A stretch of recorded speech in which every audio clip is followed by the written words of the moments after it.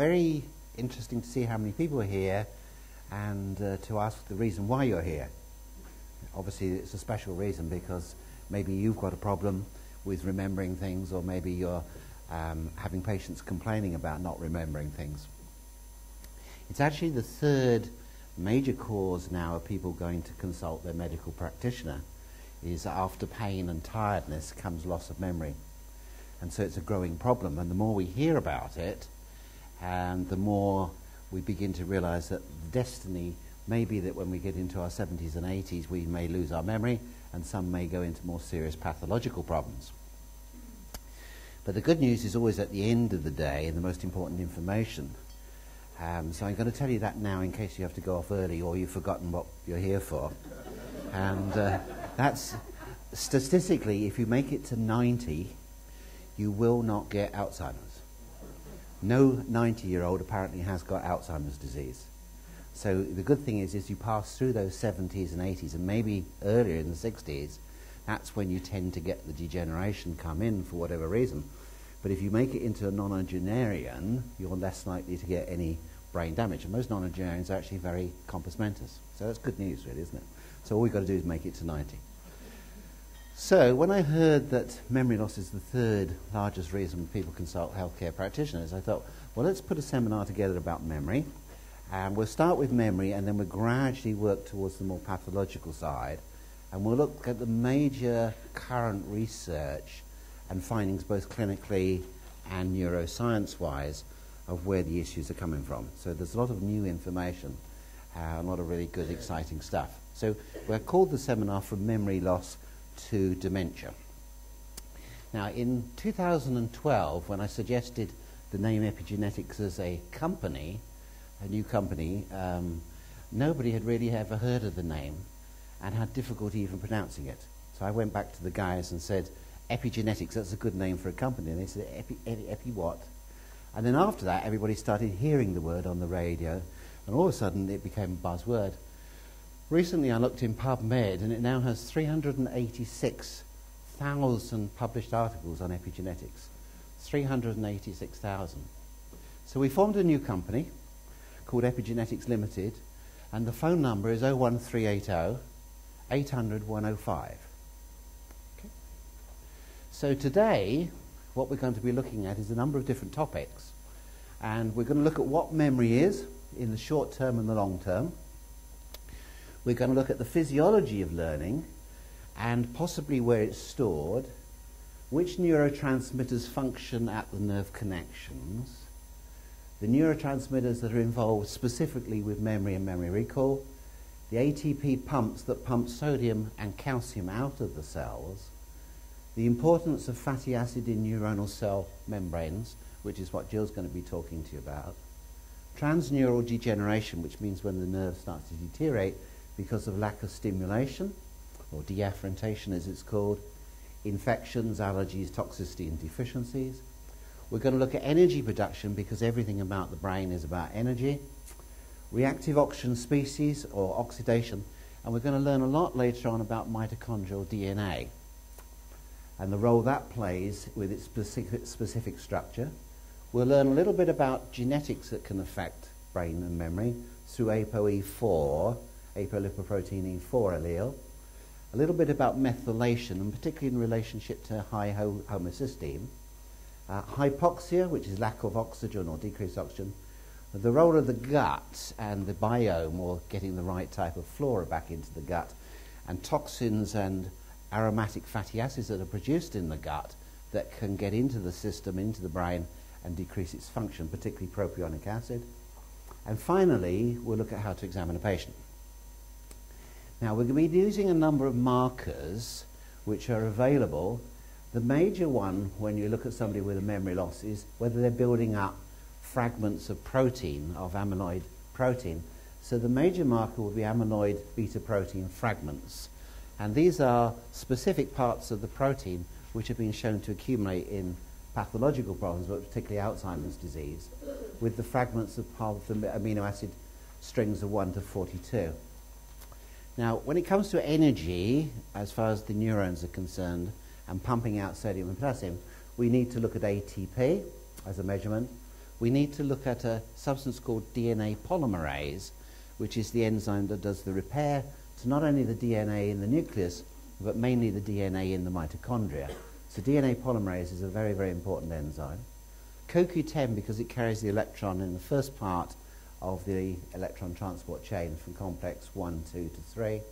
We'll be looking at complex 3 itself, the cytochrome C reductase, and then cytochrome C, which is like CoQ10, carries the electrons from complex 3 to 4. And then we'll be looking at complex 4, called cytochrome oxidase. We'll be looking at the fatty acid membrane on the inner membrane of the mitochondria, which is the rich source of cardiolipin, a very specific phospholipid.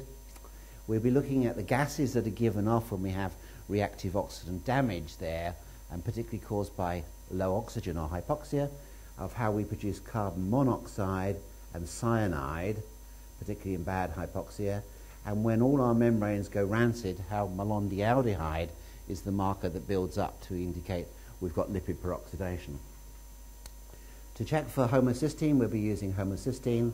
To check for ApoE4, we'll be looking at ApoE4, allele, and different probiotics. When we come to looking at hypoxia, we'll obviously use oxygen, hemoglobin, and the markers through the porphyrin pathway to produce heme. So this is the hypoxic markers that we'll be using, which you're probably familiar with from the seminars we did last year on phonocardiography. So let's uh, start with what memory is. And we know that memory is the process in which information is encoded, in other words, information going in, how it's stored and then retrieved. And encoding allows information from the outside world to reach the body through the five senses in the form of a physical or biochemical effect.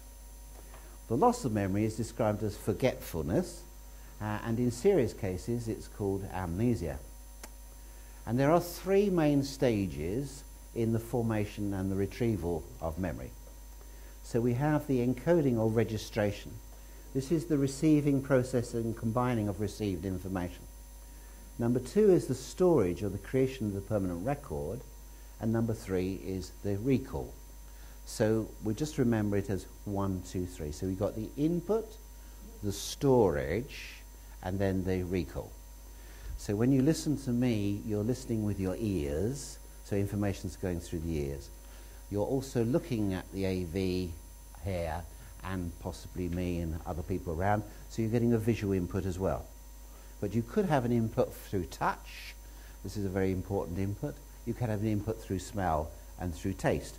Or ideally, the best input is, of course, with using, utilizing all five.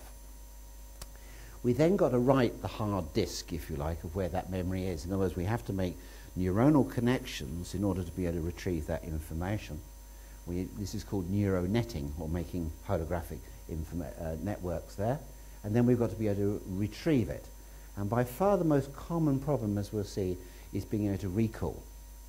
Most people have learnt, most people receive the information because we know under hypnosis they can recall every single detail of what they see and hear and smell and taste and touch.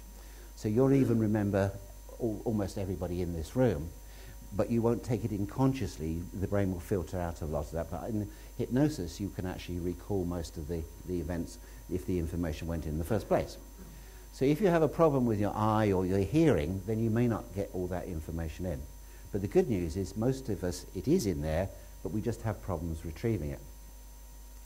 So the physiology of learning depends upon putting input through those five senses.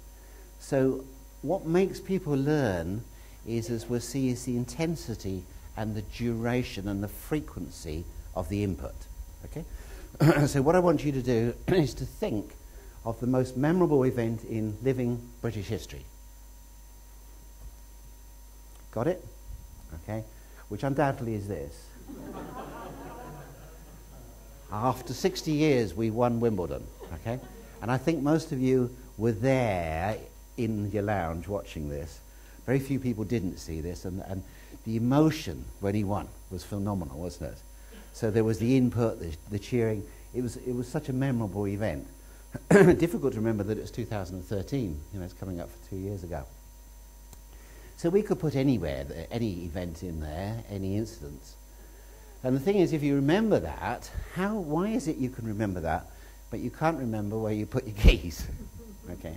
So because you don't emphasize the way you put the keys, you just put them down, don't you? And uh, whereas this was a memorable event because of the intensity of it. We waited 60 years for this. And how many Wimbledons and international tennises have we seen him fail at the end, the British tennis players fail? And then the moment came when he did. And it, so the intensity was tremendous, all right? And the duration of it, of course, because it was a long match, four hours or something, plus, of course, that information went on for weeks and weeks and weeks and weeks and weeks. So the repetition was there. So you had the duration, the intensity, and the repetition.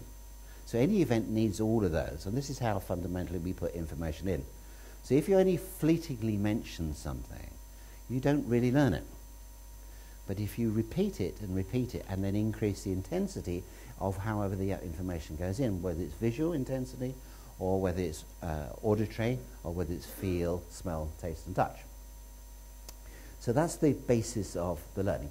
Now, in addition to the inputs, we need to get the, the brain cells to talk to each other, and they do this chemically. So although the, uh, the information goes from one end of the nerve to the other electrically, it's one nerve talks to another through chemicals, and these chemicals are called neurotransmitters.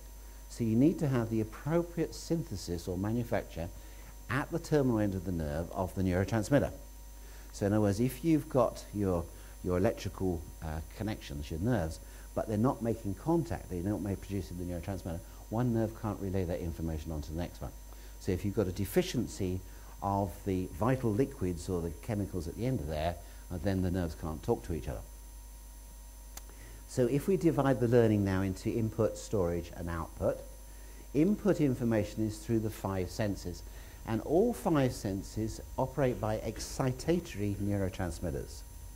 So excitatory, as we'll come to learn, means that the synapse transmits a particular neurotransmitter called glutamate and in the spinal cord aspartate. And it opens up channels in the next nerve. And in the case of excitatory neurotransmitters, there's sodium and calcium. So the next nerve allows one ion of sodium to enter and one ion of calcium to enter. But in the case of an excitatory, it allows multiple entries. So there's a lot of positives, if you like, go into the next one. And those positive charges have to be pumped out. And to pump those out, you need ATP, or energy. Okay? So an excitatory neurotransmitter, or excitatory neuron, uses more energy uh, than an ordinary stimulatory or an inhibitory neurotransmitter, neuronal, neuronal circuit. All right? So the learning process, it takes a lot of energy in the process. So when we learn, we have to have a lot of energy. If we're tired, and you know that uh, probably only too well, at the end of the day, you're tired in yourself, you can't learn. It's very difficult to learn when you're tired.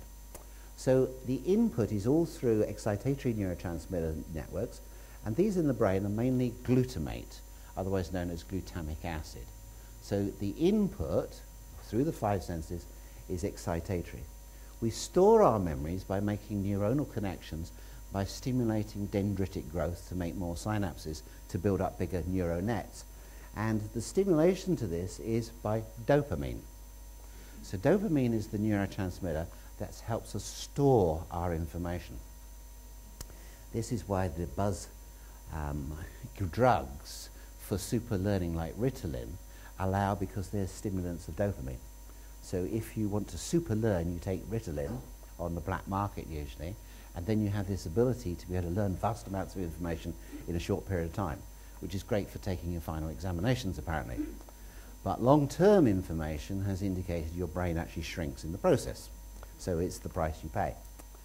Now, the most important part is the output, is by recalling our memories from the holographic uh, database through the hippocampus and other limbic parts.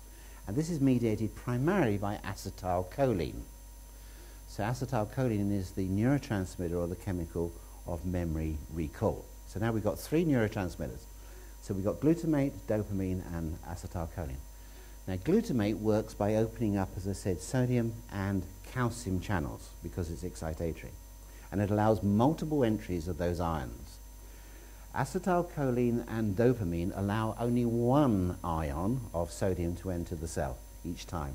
So every time a neurotransmitter um, uh, attaches to the next neuron, and the ion channel opens up, it allows just one ion of sodium to enter, and that has to be pumped out. And the doorway or the channel then shuts. So everyone going in has to be pumped out. But in the case of glutamate or the excitatory ones, we get multiple entries. Learning difficulties must therefore be due to, number one, insufficient sensory input. In other words, we've got problems in our visual input, our auditory, our taste, touch and smell, or insufficient glutamate synthesis. In other words, are we able to manufacture or synthesize in the nerve, in the nerve itself, enough glutamate or glutamic acid? Okay. Number two, the learning difficulty may be that we're not writing the disc properly, so insufficient dendritic connection. Okay, so we could have problems with not having the right connections being made or insufficient dopamine being synthesized. So when we've got potentially low dopamine being synthesized in the terminal end of the nerve, we won't be able to write the hard disk. And number three, the recall would be due to insufficient cortical hippocampus connections. This could be lost because of degeneration, or it could be lost because of an accident, or a cerebral vascular accident like a stroke or traumatic head injury. So we could actually physically lose the connections or decrease them, or an insufficient synthesis of acetylcholine the neurotransmitter. Okay? So those are the three possibilities. So you've now learned excitatory is the way it goes in, dopamine is the way we store it, okay, and acetylcholine is the way we retrieve it. So a deficiency in the excitatory neurotransmitter can be challenged, we found, through the beginning and ending points of the meridians. Every meridian is associated with different neuronal networks. And it's not as easy as what we thought many years ago, was generally accepted, was a nerve was a nerve which had secreted acetylcholine on the end. So it became an acetylcholinergic nerve. Now we know that on the nerve end there are dendrites, or like roots, and these have multiple, sometimes hundreds of dendrites at the end, and some of those will be acetylcholine, but some of them will be dopamine, and some will be glutamate, and some will be other neurotransmitters. So in other words, every nerve can transmit and talk to almost every other nerve in the body. It's a phenomenal holographic network. So we know that the glutamate network, we call it rather than specific glutamate, glutamate nerves, can be challenged at triple warmer 23. So triple warmer 23 is the end point of the triple warmer meridian and is associated with the excitatory neurotransmitters of glutamate and aspartate. So just pop your fingers on there this is on the junction of the zygomatic bone to the frontal bone. So it's about 10 o'clock. So if you just run your finger on the orbit, you'll feel there's a little suture there, which is between the zygomatic bone and the frontal bone. So it's about 10 o'clock on one side, 2 o'clock on the other, if you were looking at it. That's the point. That's triple warmer 23. The deficiency of the neurotransmitter is associated with low dopamine is at conception vessel 24. Now this is just on the border between the lip and the skin in the midline on the lower lip. Okay? That's conception vessel 24. Obviously, memory problems are a lack, as I said, of the neurotransmitter or stimulation, and therefore they're associated with the yang meridians, which are associated with deficiencies of neurotransmitters. And the last deficiency possibly is of acetylcholine, which is at gallbladder 1. And gallbladder 1 is right on the lateral part of the orbit, but it's just on the inside of the orbit. So if you pop your fingers on there at 9 o'clock or 3 o'clock, and then just roll your fingers into the orbit slightly, and just rub them up and down, and you'll feel something about the size of a flax seed. It's very, very small. But when a meridian is active, in that sense, these points swell. And they can swell quite up to the size of a lentil or bigger. And the more chronic a problem is, the greater the swelling and the harder it is and to treat. So that's the gallbladder. So those are the three meridian points associated with the three neurotransmitters which are associated with the memory input, storage and output. So here we've got the points on the face there. So learning is a process um, taken overall that can be stopped. And many of us, or many people do stop. They go to um, school or they go on to college or to university and they really have to learn their stuff in order to be able to pass their exams, and then they close their books, and that's it. And our profession as an osteopath was uh, no better than most for this. And we used to um, really get quite um, naffed at the College of Osteopathy, British School of Osteopathy, um, because we reckoned it out that only 50% of osteopaths had ever done uh, any postgraduate training in their life, which was amazing. But in those days of the early applied kinesiology seminars, I think, Anne, you were on those because you were my clinic tutor, a director, and uh, we had groups of dentists in those days that used to do all the temporomandibular work with us and learn from that. And they used to tell us only 5% of dentists had ever done a postgraduate course in their life. And that was more what, uh, music to our ears, really, because we weren't so bad then. Okay? Now, of course, we've all got to do compulsory uh, ongoing professional development, which is great, which is good. Um, so we all have to keep reasonably up to date anyway. And the world is, of course, full of information. And there's so much to learn out there, isn't it? And it's so fascinating. And we'll see that the key to all this is the more you learn, the easier it is to learn. Okay? The less you learn, the harder it is. So the more you stimulate the brain, the easier and the greater quantities you can learn. So learning can be stopped. um, you don't have to stop, of course, but it can be stopped. It can be slowed down, and equally, of course, it can be speeded up. So as I said, the more you learn, the better you are. All that is necessary to speed up learning is to stimulate the five senses vision, hearing, smell, taste, and touch with increasing frequency, intensity, and duration. You get the idea of it now. And the first person to really put that into words was Glenn Doman. Uh, Dolman and Glenn Doman were the first people to develop cross-crawl stimulation for brain-damaged children. And I was fortunate to meet Glenn quite a few times at his Institute of Human Potential in Philadelphia. He recently passed on, but he was really the epitome I always thought of everybody's grandfather, how he should be. You could imagine almost sitting on Glenn's knee because he was such a lovely guy, wonderful with the children. So the sensory neurons of the five pathways are all mediated by excitatory neurotransmitters that I said. Here's a, an example of neurotransmitters that are excitatory. And the reason for this is that they have two carboxyl groups. Uh, a COO um, is called a carboxyl group that you get at the end, the terminal end of an amino acid. But in the case of aspartate or aspartic acid or glutamic acid, you see we've got two carboxyl groups. And that's what opens the ion channel in the mem cell membrane of the nerve and leaves the door open. So if you imagine the door, like at the back there, is being left open, that would mean that lots and lots of people could come into this seminar, whether they've been being invited in or not. Okay? But if that door was shut and each time it opened only one person came in, you could control that or regulate that. So in the case of an excitatory neurotransmitter ion channel, we have to have guards on the side, or voltage channel regulators they're called. And we'll come on to that because the two voltage channel regulators are zinc on one side and magnesium on the other.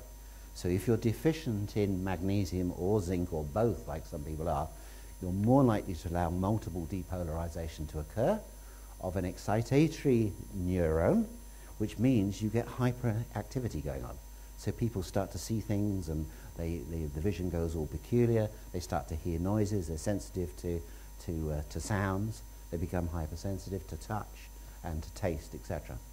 So neurotransmitters are very important, but the excitatory ones are really special to look after, that we want to regulate them. We don't want them over or under. So we've got vision, remember, hearing. Uh, this is uh, a picture of Jill's eye. This is a picture of Jill's ear. This is a picture of Jill's mouth.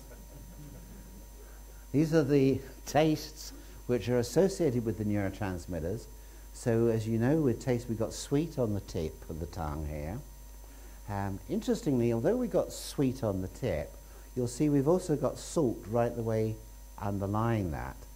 So you've got sweet and you've got salt, but the tip is associated with the sweet bit there. And people always think, oh, that's the sensation of the tongue. If you stick a pin in there, you'll also have pain, okay?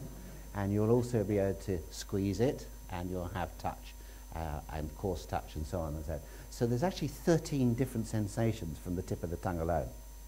And these all go into the tractus solitarius in the base of the brain stem. So it's a wonderful neurological input. Now down the side we've got salt and then sour and bitter at the back. And they've more recently discovered umami, which is that salty taste of monosodium glutamate, is in the middle there.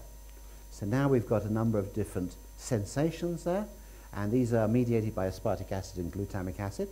Aspartic acid, as you know, when it's mixed with phenylalanine, gives the sweet taste, doesn't it, of aspartame. Glutamic acid with, with uh, monosodium glutamate is more of the salty one. And then we've got two other neurotransmitters because these have actually got two or three carboxyl groups.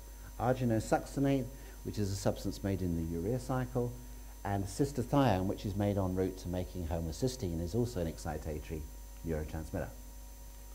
Uh, this is Jill's nose, uh, and this is her touching and treating patients.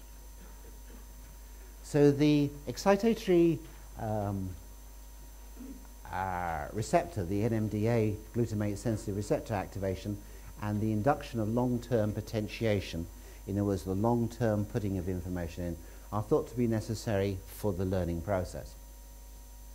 So in other words, we have to have the right receptors to receive the glutamate to activate the excitatory neurons, and we have to do it often enough or regularly enough for the intensity to create long-term uh, memory lines called long-term potentiations. Glutamate receptors are also thought to play critical terms in uh, the short term as well as the long term. So here we see a, the terminal end of a neuron, and as we'll learn, the neurotransmitter itself is actually made in the terminal end of the nerve. This is not to do with substances that we eat. You know, some of those substances that we eat, like monosodium glutamate, may drift through the brain blood-brain barrier and get into the synapse and attach to the next nerve. They're not manufactured here. All the neurotransmitters like dopamine, glutamate, etc., where one nerve talks to another, is actually manufactured in the terminal end of the nerve. So here we've got glutamate being manufactured, crossing the synapse and allowing sodium to enter into the next cell, and calcium potentially, and magnesium out. So when the depolarization has occurred, in other words, this nerve is fired, sodium will then enter, calcium enters, and magnesium is, pumped, is, is shunted out during depolarization. That means that this nerve now has one or multiple molecules of sodium and potassium. Now this will be negatively charged okay, initially, and when a positive goes into it, it becomes depolarized. In other words, it loses its negativity. Okay? So in order to recharge, it has to pump that sodium and that calcium out, and the pumping is done by pumps, and the pumps use energy or ATP. Okay, so the ATP has to be made on the spot in the nerve. And the place where we make the ATP is in an area called the mitochondria, which we're going to study in more detail than you probably ever imagined. Now, the mitochondria are the powerhouses that make ATP, which then loses its charge and makes ADP, or converts to ADP. So ADP, adenosine diphosphate, is charged up, if you like, to ATP, adenosine triphosphate, then immediately loses that energy and converts back to ADP. So it's like a battery, a rechargeable battery, that charges and discharges, charges, discharges. And the difference is it does this hundreds or thousands of times a second. Okay, so it's not doing it and holding the storage. There's no such thing as stamina. You know, when you think about it, this, we don't store energy at all. If you turn off the ATP mitochondria in the body, you will live for precisely four seconds. And that will be it. There's no reserve of energy at all. We make energy. We make it, use it, make it, use it. We imagine there's a mitochondria in every cell in the body. Okay? In some cells, there are a few. In muscles, there are 2,000 mitochondria per cell. In the neuron, there are up to 5,000. 5,000 powerhouses in your neurons? Because they have to do more work than anywhere else. And as we'll see, the neuron uses more energy and therefore it needs more oxygen than anywhere else in the body. It uses 20% of all the oxygen that we take in through here is used by the brain. Okay? So the first place we see drops in energy and drops in oxygen levels is in the brain and the ability to think and recall memory. So here's glutamate or glutamic acid and we can see it's made from the amino acid glutamine and to make it we need potassium we need magnesium. Or we can make it from the Krebs cycle from alpha ketoglutarate and to do this we need ammonia and vitamin B3. NADPH, the coenzyme of vitamin B3. So those are the nutrients there. So let's now challenge the input. So challenge each of the five senses right to left and then left to right. Now this is really one of the things we developed um, about a year or so ago with children who had difficulty learning. And what the problem was that most of the children with difficulty learning didn't have inability to see, but they couldn't put the information in that they did see. Reading was very difficult, and in the same way, hearing was very difficult. So what I need is a body. Okay, so could I have somebody, anybody at all, who wants to be a model here? Okay, down you go. I'm sure, Anna, you haven't got any problems, but we'll, we'll see. Right. So we're looking at this in isolation. This is not how we would examine a patient from the beginning, because when I go through the protocol of examining a patient this afternoon, we would obviously do some other preliminary work first of all. But what we're going to do is we're just simply going to bend her knee up here and use a strong indicator muscle, which we seem to have got nice and strong. And what she's going to do is to put her fingers, one on the right eye, with your eyes closed. Okay, so one, and I want you to put the fingertip where you would see in the eye. So in other words, don't put it on the side of the eye, put it right in the middle where the pupil would be, and now on the left one. So we're doing a two-handed challenge. So what we're doing is we're asking your left eye, how do you like your right eye? So in relationship to the right eye, which you're touching, in other words, your object beam, how do you like the reference to the left? And the answer is, no problem, she doesn't go weak. So now take your fingers off and now do left to right. Okay? So you notice what I'm doing? I'm comparing the right to the left and the left to the right. And no reactions at all. Well done. Excellent. Okay? Now what we're going to do is we're going to stick the fingers in the ears. So you can do the same one, finger in, in the actual ear, uh, in the right and to the left. So you can keep your eyes open this time. Okay, and then take them out and then do them way. So a person who has problems here, you may actually have to place the fingers for them, okay, because they won't really understand what you do. All right? Now, these are the big three, I call these. Now, this is the one that what you've got to do is to tickle yourself on the right. All right? Now, I won't do it because girls particularly are very ticklish. So off you go. Tickle yourself on the right. Because they say you can't tickle yourself, don't they? Which is not true, as you, as you saw. okay. Right, so what we're doing is a sensation of input a touch on the right, and then take them away, and now do the left. No, a bit more than that. Put some stimulation in. That's it. Good. Stop. And now the right. So we're doing left to right. Okay, Paul? Good. So that's excellent. So those are the big three.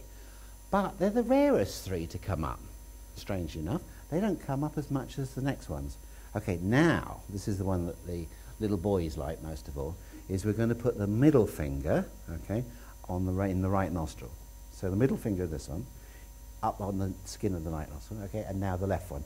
So we're going to compare smell on the right to the left, take them out, and then left to right. This is why we have four fingers, okay? Now we're going to do the fourth finger, all right, for that reason, is because you're going to put it on the right side of the tongue to the left side of the tongue, okay? And then we're going to do it around the other way. We're going to do the left tongue to the right tongue. And hey presto, look at this. Okay, something has left a bad taste in Anna's mouth. Okay? Sometimes these people, they could be adults, they could still be children, um, were fussy eaters. Were you a fussy eater? No, you weren't a fussy eater. But you probably can't remember. You know, sometimes people don't remember this. You know, oh, I was, I was fine. But you ask their mum or dad, and they say, no, they wouldn't eat this, they wouldn't eat that. Do you have any food allergies now? Mm, not really. Not really. Usually people with this have food sensitivities, we'll see. There's something which, what they did is they don't like certain foods, and often their mum forced them to eat it. So they built up neuronal networks of dislike for certain tastes and things. So just do that one again. So fourth finger on the, no, do it on the right first, to the left, okay? And then we'll do left to right. So could we have a Miron torch? Get a Miron torch. Um, so what we're going to do is we're going to treat this, okay? And the way we treat this is to maintain the therapy localizations or the reference point.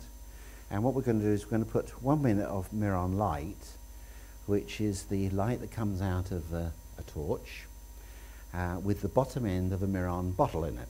Okay? And if you've never seen this, it's a beautiful violet light which is just right on the edge of the visible spectrum. In fact, it's almost beyond that because when you look at a Miron bottle uh, or glass, it looks black. But when you put a light behind it, you get this beautiful purple violet colour coming out from behind. But only if you use natural light or a halogen or krypton bulb. If you use LED, you get a blue light come out through it, okay, which weakens almost everybody, like LED light. So LED is not a true light. It's not a broad spectrum. It doesn't have the full colours of the rainbow. How are we doing? Have we done a minute yet? So by the time you've wafted on about this to the patient, the minute is usually up. Yeah, okay. So you can probably see that. Maybe Gary can capture that on the camera, that beautiful purple light. If not, we'll do it there. So you can see the lovely, lovely colour there. Okay. So it's really right on the edge. It's not. It's probably partially into ultraviolet, but it's certainly about 380 nanometers, which is about the extreme of what we can see with the, with the human eye. So, right, so that's done you. Now, what do we do now? We go through them again. So starting with the first finger, eyes right to left, and then left to right, good. And then the same finger using in the ear, and right ear to the left ear, left ear to the right ear. Absolutely brilliant. Okay, tickle yourself on the right, tickle yourself on the left. You've got to hold on because most people tend to take your hands off after you tickled, okay? And then tickle yourself on the left, tickle yourself on the right, okay? And then up the nose with the uh, middle one, isn't it? On the right, to the left, and then the left to the right, okay? Now, we've still got to do the tongue again because it could be around the other way. So fourth finger, tongue to the right, to the left, no, and then left to the right. Okay? Why? Because some people actually show the same sensory input, but on the other side. Okay? So you, once you do it on the left to the right, it's not unusual for a person then to have the right to the left. It's not unusual to have a person, let's say, right to left visually and left to right with the ears. So you can imagine how difficult learning is for these people. You know, the information going in is just being scrambled all over the network there. Very, very difficult. So this is a really, really simple, easy technique to do with anybody who has learning difficulties or learning recall problems. Okay? So we've got to actually look at the five senses and leaving aside pathological problems of somebody not being able to see the blackboard or read the book, most people can, but they don't digest that information. It doesn't go in equally to the left and the right brain and the particular locations where it needs it. Okay, so there we've got the, the five points in, and there's the tickling one. Okay, so remember, you could use other sensations with the touch. Your touch itself is not usually strong enough. You actually got to put a bit more in that. Rather than sticking pins in left to right and right to left, tickling is a much nicer sensation.